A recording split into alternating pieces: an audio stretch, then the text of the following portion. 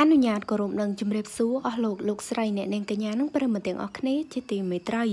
រំភើបណាស់ម្ចាស់ហាងពេជ្រអ្នកនាងត្រីដាណាបានទៅជួបលោកយាយដែលជាភរិយារបស់លោកតាស៊ិនស៊ីសាមុនថែមទាំងជូនថវិកាចំនួន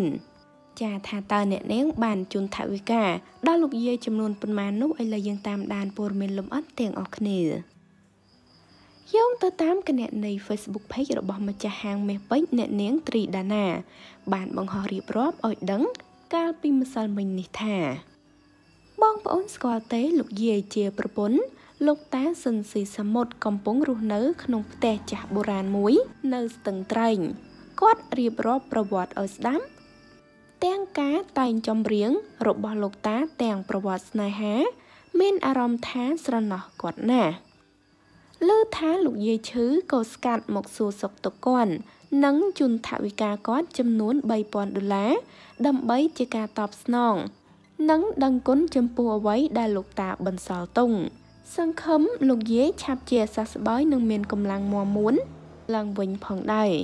ថាការស្រីរូបស្រស់ថែមទាំងចិត្តបនរូបនេះបន្ថែមថាខ្ញុំនៅក្មេងទេកើតមិនតាន់ចំនួនលោកតាទេ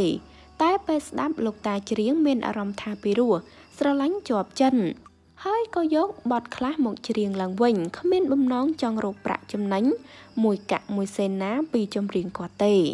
មានតែការគោរពស្រឡាញ់ហើយចង់រំលឹកអ្វីដែលគាត់បន្សល់ទុកប៉ុណ្ណោះលោកយាយថាអរគុណចៅណាស់ដែលមកលេងឮហើយរំភើបខ្លាំងណាស់ចាគឺពិតជាល្អប្រពៃខ្លាំងណាស់គ្រាន់តែឮថា ភរិយារបស់លោកតាស៊ុនស៊ីសាមុនយាយឈឺថ្កាត់នោះអ្នកនាងត្រីដាណា ស្កាត់ទៅសួរសុកតុងហើយថែមទាំងជូនថវិកា ចំនួន3000ដុល្លារថែមទៀតផង ស្អាតហើយចិត្តបនទៀនចាហើយតេតងនឹងព័ត៌មាននេះដែរក៏សូមបញ្ចប់តែត្រឹមនេះអរគុណបងប្អូនទាំងអស់គ្នាសូមចុច Subscribe និងរូបកណ្ដឹងដើម្បីទទួលបានព័ត៌មានថ្មីៗជាបន្តទៀតសូមអរគុណសូមគោរពលា